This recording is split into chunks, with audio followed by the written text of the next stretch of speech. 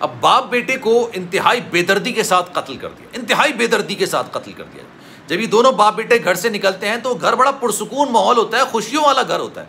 लेकिन जब दोनों बाप बेटे की लाश उस घर के अंदर आती है ना तो यकीन करें, वो उनके लिए क़्यामत सगरा थी। माँ अपने लखते जिगर की लाश को देखती है, अपने बेटे की लाश को देखती है, अपने शोहर की लाश को देखती है सदमे से वो भी मर जाती है। एक ही घर के अंदर, पंद्रह मिनट के अंदर तीन लाशें गिरती हैं। आप सोचिए, अंदाज़ा लगाइए। और इसकी वजह क्या है? मैं आपको जो बुनियादी चीज़ बताने जा रहा हूँ ना, ये आपने सुननी है इसको आकर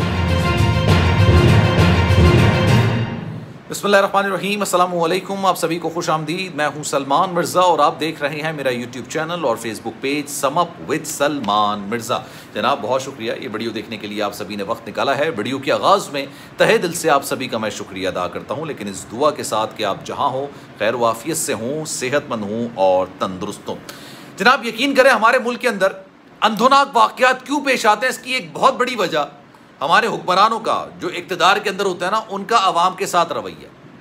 वो शायद आवाम को बेवकूफ़ समझते हैं, वो आईक्यू लेवल उनका कम समझते हैं, वो ये समझते हैं कि यार ये डंप लोग हैं, इनको जो बोला जाएगा ये उस चीज़ को तस्लीम कर लेंगे। एक वाक्य मैं आपके सामने रखता हूँ, उसके बाद मैं आपको बयान दिखाऊँगा कि इस वाक्य के बाद बयान क्या निकल कर सामने आए मतलब आप यकीन करें पूरा पूरा ख़ानदान मिटा देते हैं यार। एक बंदा नहीं पूरा पूरा ख़ानदान सफ़ा हस्ती से मिटा देते हैं। इतना जुल्म होता है, लेकिन उस जुल्म पर कोई लबकुशाई नहीं करता, कोई बात करने की कोशिश नहीं करता। अगर आप कराची के अंदर रहते हैं, पाकिस्तान का सबसे बड़ा शहर है, शहर कायद कराची। अगर आप हो, या आपका कोई रिश्तेदार हो, मैं गारंटी के साथ कह सकता हूँ कि किसी ना किसी के साथ राजधानी की वारदात ज़रूर हुई। किसी का मोबाइल छीना होगा या उसका नहीं छीना होगा तो चले उसके किसी रिश्तेदार का छीना होगा, घर में किसी फर्द का छीना होगा। हमारे यहाँ रोडों पे ना इतने भिकारी नहीं होते जितना राजधानी की वारदात करने वाले लोग मौजूद होते अब इसी तरह का वाक़ एक दिन पहले पेश आया और इतना खौफनाक, इतना दर्दनाक, इतना दिल खराश वाक़ है। मोबाइल छीनने के लिए आते हैं भाई। और बाप और बेटा गाड़ी बाइक पर बैठे हुए जा रहे होते हैं। रात के ग्यारह बज रहे होते हैं, ग्यारह ग्यारह बज के दस मिनट होते हैं। आते हैं मोबाइल छीनते हुए, शायद मुजामत हुई होती है। दोनों को गोलियाँ मार।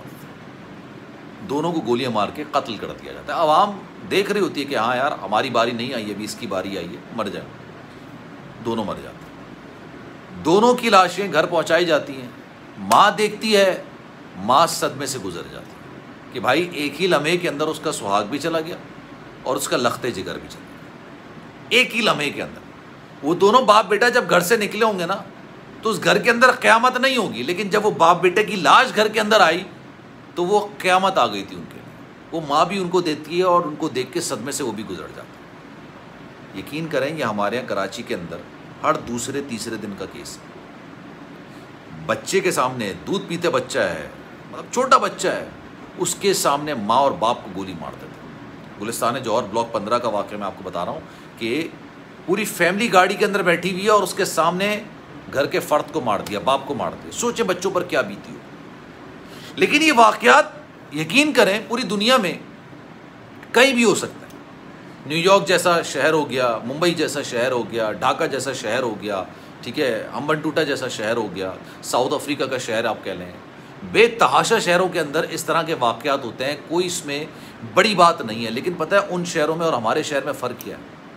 हमारे माशरे और उनके माशरे में फ़र्क यह है कि जब भी कोई इस तरह का वाक़ होता है ना तो उसका सदबाब करने की कोशिश की जाती है। अब जैसे मैंने आपको बताया ना कि शायद हम लोगों के आईक्यू को कम समझते हैं, या हम लोगों को कम हाँकते हैं।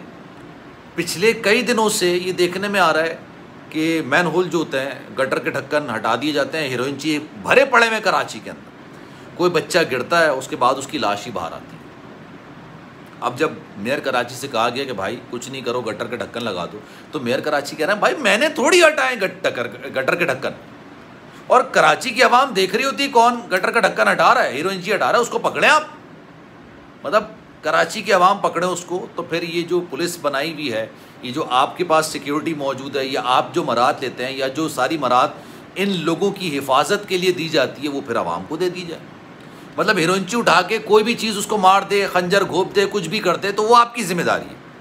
तो वो ढक्कन लगाना भी आपकी ज़िम्मेदारी है, ढक्कन की हिफाजत भी आपकी ज़िम्मेदारी है और उसके चक्कर में अगर आपकी जान चली जाती है तो वो भी आपकी ज़िम्मेदारी ये हमारे शहर कायद के अंदर होगा। एक और चीज़ निगरा वज़ीर दाखिला सिंध मैं ऑनेस्टली उनकी बड़ी रिस्पेक्ट करता हूँ क्योंकि अच्छे दिफाई तजियाकार हैं। उन्होंने एक बयान दे दिया कि आप जो है ना अपना मोबाइल जेब के इस जगह पे रखें मतलब इस तरह छुपा के रखें कि राजनी की वारदातें करने वालों को, चोर डकेतों को मिले नहीं मतलब मुझे समझ नहीं आ रहा वो चोर डकेतों को बेवकूफ़ समझ रहा है या आवाम को बेवकूफ़ समझ रहा है। मुझे वाकई में इस बात की समझ नहीं आई कि भाई चोर डकेत आएगा, आपसे पूछेगा, भाई मोबाइल है और कहोगे, भाई मेरे पास नहीं है।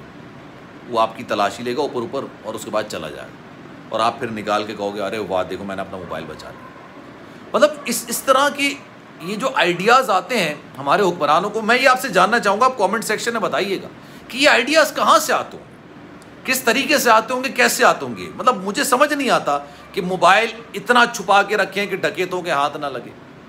भाई सच्चा घर रख के चले जाते और राजधानी की वारदातें से बचने के लिए या बचाने के लिए, अपने शहर को पाक करने के लिए ये बुनियादी हल है उनकी नज़र में। आप सोचें, अंदाज़ा लगाएँ। ये कह रहे हैं कि भाई, मोबाइल छुपा के रख वो कह रहे हैं, भाई गटर का ढक्कन जो हटा रहा है, उसको पकड़े ना, आप क्यों नहीं पकड़ते? मेरा काम थोड़ी गटर का ढक्कन लगा। और इस तरह के बयान के बीच के अंदर आप ये देखिए कि लोगों की जाने जा रही जो कल का मैंने वाक्य देखा ना, यकीन करें, बड़ा अफसोस हुआ मुझे। बाप बेटा चले गए एक साथ। माँ ने देखा दो घर के अंदर लाशें आई हैं। एक मेरे शोहर की आई है, एक मेरे लख्त जिगर की आई है। वो भी सदमे से चली। और यकीन करें, किसी को कानो कान खबर नहीं होगी और किसी को फ़र्क नहीं पड़ेगा। क्योंकि इस तरह के वाक़ात के बाद जब हमारे अरबाब इख्तियार इस तरह के बयान देंगे वाक़ात के बाद तो फिर ये हौसला अफजाई होगी उनकी। ये जराइम पेशा अफराद की हौसला अफजाई होगी। खैर जनाब, इस बारे में आपकी राय क्या है? मैं चाहूँगा कि कमेंट सेक्शन में अपनी राय का इजहार ज़रूर कीजिएगा आप। सलमान मिर्ज़ा को दीजिए इजाज़त, ज़िंदगी रही, सेहत रही, आपकी दुआएँ नहीं तो इंशाल्लाह आपसे फिर मुलाकात होगी। जाने से पहले गुजारिश है, अगर आपने चैनल सब्सक्राइब नहीं किया, सलमान मिर्ज़ा ऑफिशियल मेरे यूट्यूब चैनल को सब्सक्राइब ज़रूर करें, बेल आइकन ज़रूर दबाएँ। कोई बात आप कहना चाहते हैं इंस्टाग्राम पर आप मुझसे रबता कर सकते हैं। Salman dot M R Z double A के नाम से मेरा इंस्टाग्राम अकाउंट है। चाहें तो फॉलो कर लें। जो आप मैसेज करेंगे, मेरी कोशिश होगी कि आपके मैसेज का रिप्लाई मैं ज़रूर करूँ। अपना ख्याल रखिएगा। अल्लाह हाफिज़।